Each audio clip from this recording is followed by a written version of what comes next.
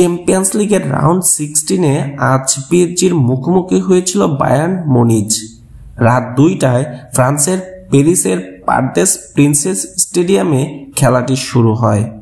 PSG আজ চার চার দুই ফরম্যাটে খেলোয়াড় সাজিয়েছিল মাঠে। অপরদিকে বায়ার্ন মনিজ তিন চার দুই এক ফরম্যাটে খেলোয়াড় সাজিয়েছিল মাঠে। খেলা শুরুর পর থেকেই আক্রমণ শুরু করে দুই দল। কিন্তু প্রথমার্ধে কোনো দলই গোলের দেখা পায়নি। দ্বিতীয়ার্ধের শুরুতেই খেলোয়াড় পরিবর্তন করে দুই দলই। তিপ্পান্ন মিনিট সময় এসে বায়ান মনিচের কোমানের অসাধারণ গোলে এক শূন্যতে এগিয়ে যায় বায়ান মনিচ।